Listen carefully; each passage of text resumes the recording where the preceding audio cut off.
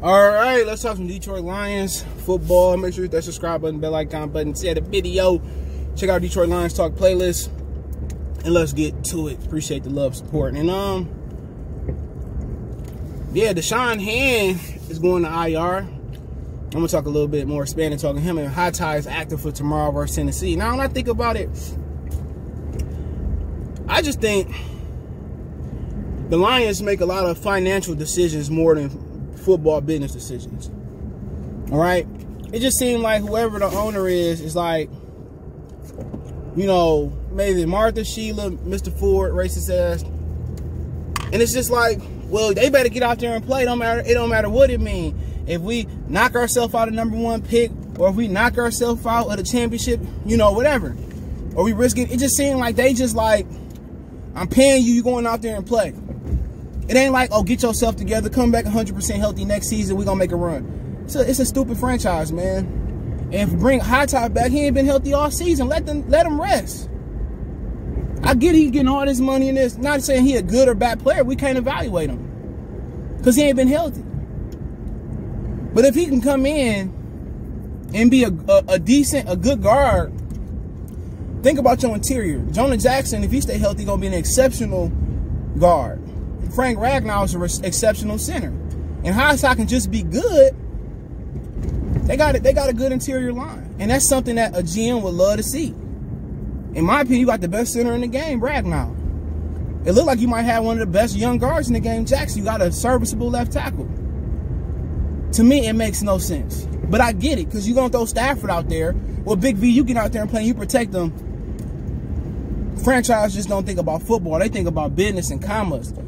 You can't have a successful franchise when you think in business and comma more than football, more than football. You know, you know, more than football altitude or IQ. That's just a fact. Vaitai Stafford, all them dudes would be shut down. DeAndre Swift would be shut down. But then again, I get it. You got a guy that's hoping to break through and get an NFL head coaching extension and, and Darrell Bevell. There's just too much going on, man, with the Lions. That just don't make no sense. Too much going on. But what I like about the Lions, I'm gonna be positive here. What I like about the Lions is they are actually interviewing GMs first. So they gonna be like, GM, all right, this is what we expect, what you expect, what you need from us. All right, we're gonna let you pick our your head coach. Perfect sense. But with Da'Shawn Hand, let's move on to him. It's over with. Now, I don't want to write him off, but he was injury prone in college. I think he came in as like the number one defensive or football player in the country in Alabama. And you want to have him, you want him to stick around and see with another with another regime what will he do. Because this year, I mean, he made one play. I forget who it was, but it was on a on a where they back against the end zone. But to be honest, with him, he ain't really flashed, you know, but one time this season that I remember, and I would damn near watch damn near every line snap. If I didn't watch it, I was listening to it on the radio. So what you ask yourself is, okay, I'll give him another shot. But really, you can't count on him to be the Ndamukong Suh, the Warren Sapp, the John Randle, the Reggie White, or the or the defensive line. You can't ask him to do that. What he can be at this point is a good rotational player. He remind me of Nick Fairley, but just with a larger rookie sample size. Fairley used to come in and flash every now and again. Remember that New Orleans Saints game and Ndamukong Suh got suspended for I think was stepping on that Green Bay Packer guy arm. I remember that guy. I was at that game, working the Lions game. And he, Da'Shawn Hand, probably, i give him another chance just because with a new regime, they're going to stunt, they're going to bring pressure, they're going to bring more of a complex scheme. So maybe he stick out that way, but to be honest, at best, he can be the captain of the second unit. You know what I'm saying? And really, the Lions' priority going to next season is best player available. But if you ask me to say, if you a need a, a need guy, which drafting for need get you in trouble.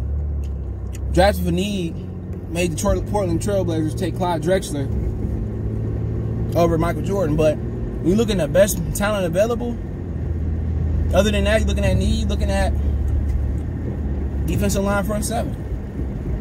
You can find some really good linebackers late in the draft or late in the first round, second, third round. You can find a lot of good linebackers. They, the Giants got this white boy that's playing for tremendous. You just got to identify what you want out your linebacker. What do they do? What do you want out, they, out your scheme? And what and can they do that well? And that's how you draft them. You find good linemen late in the draft. If I got a guy that's that I think I can develop him to an exceptional tackle, left or right, and I got a guy and I need I got a need for corner, but the tackle is here and the corner and the corner is here. I'm taking a fucking tackle. and that's what got Lions in trouble before. Drafted for need. You know, when Matt Millen was drafting risky, it was drafting risky players. Knowing Charles Rogers wasn't gonna be wasn't gonna fit fit what they wanted. Uh, you know, but with Da'Shawn Hand, you wanted to give him one more chance, but he ain't gonna be the Suh. There was a reason he dropped to what the fourth or third or fifth round, whatever it was. But what you do got when you're talking about this franchise, what's good about it? You got a good old line. You got exceptional talent in Swift. Right now you got Golladay. But defensively, Aurarie, Jeff Okudah, Tracy Walker, and Romeo Okwara. And then since the young guys you got coming back, Julian. Eventually Stenberger to get stronger and be ready to play. So that's what I'm looking at. You got a lot of young talent. A lot of people say we need D line. Remember, you got Julian coming back next year. You know, you got him coming back. Tavai coming back. Damn, she got her she in there. I can't stand Detroit drivers, man. Detroiters, y'all can't drive. I had a much better time driving to Alabama, I promise you. Atlanta, wherever I stayed at. But other than that, I mean, it's just it, other than that, it's a nice job. You got a good punter, you got a good kicker that you got to keep this year. You got to keep Romeo, you got to probably keep Golladay, but what you like about this job, you got a lot of guys that you can, you know, trade. You know, the salary cap is nothing. You got to draft well to get the guys you want here. Eventually, you can run out Trey Flowers contract, Jamie Collins contract, Justin Coleman contract. You know, and then you really can draft guys that can play behind them, learn to win, learn how to be a pro, and then eventually, it ain't a bad job. What makes this a bad job is the owner's reluctance over the last 5,000 years since they got the Lions. Their reluctance to to want to win, to put the financial back in the win, to put the IQ to win. This is the dumbest family in sports history. Even almost as dumb as James, though, I think they dumber than him. Just dumb. This I'm gonna give you this real quick before I get off. When they fired Matt Millen, they promoted Lewand and Mayhew, the general manager who was helping them make them picks. They did not clean the house and burn the house down. They promoted 0-16. That's just how stupid this family is, man. Besides Sheila. But don't forget, follow us on Facebook, Instagram, Twitter. You can reach out with business question, inquiry, response, or video requests. All my social media links, description. Fast way to reach me is Twitter and Facebook and Instagram. All the links there. You want to make a donation to the channel, Cash App, CJ Good 313. That's in the description. PayPal link in the description. Appreciate the love, support. One time for the one time we go.